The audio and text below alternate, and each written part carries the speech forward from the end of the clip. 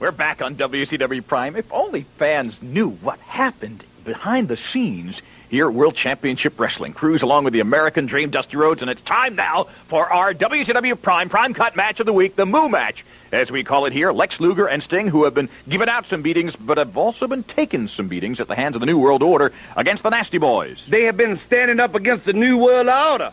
And the Nasty Boys went on record talking about Hulk Hogan being okay after he did what he did. And who is the next outsider going to be? On the Prime, we have brought it all to you, talked about it, me and Cruise on numerous occasions. What makes this matchup really powerful, though, is the Nasty Boys want tag team superiority. Sting and Luger are wanting some of that tag team gold that they once had. So that's what makes the Prime Cut match. When you get an opportunity to be on the Prime Cut match right here, it means something. So let's bring it to you right here on the Prime Cut match of the week. Me and my little buddy Cruise.